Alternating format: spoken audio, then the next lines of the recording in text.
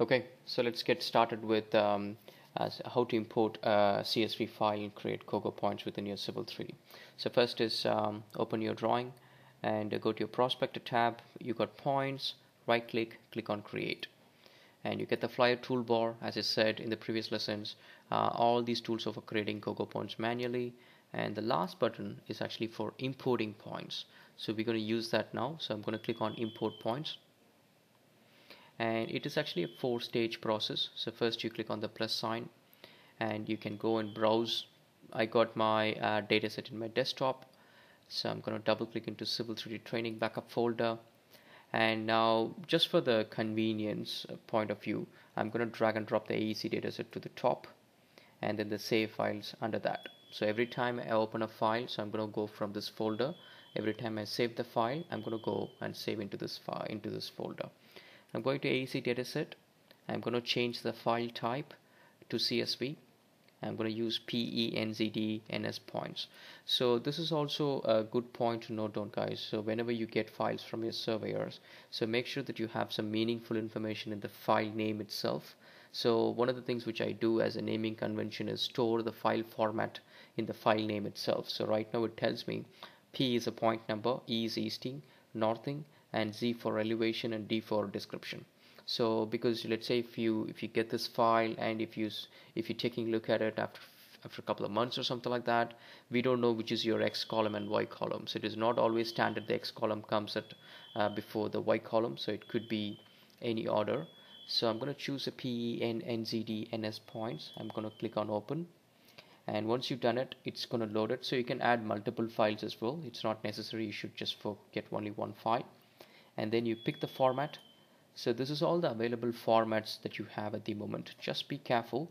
Um, there is there is also comma delimited and there will also be some space delimited delimited files as well.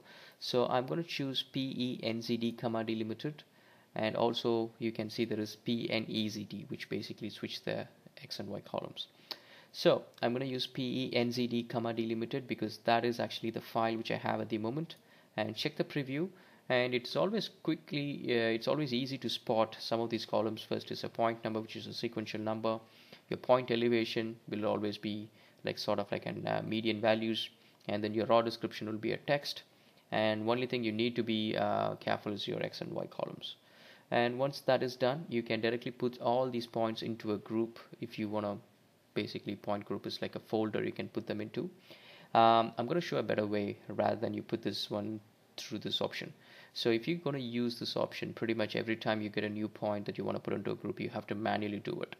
So instead what I'm going to do is I'm going to make a little automation into the point group. That means whenever you import a point with a certain description it automatically goes into the group. So that is what we're going to do. And then you can choose uh, some of the advanced options here and then click OK and wait it depends on how big is your point file. Sometimes if it's like a half a million files or 1.2 or 2 million files and things like that then it's going to take a while. And uh, also uh, civil 3d has got a top level limit of how many points that you can import. Um, so we're going to talk about that when we when we're going to deal with uh, when we're going to discuss about survey database. Middle mouse button twice that's to do the zoom extent.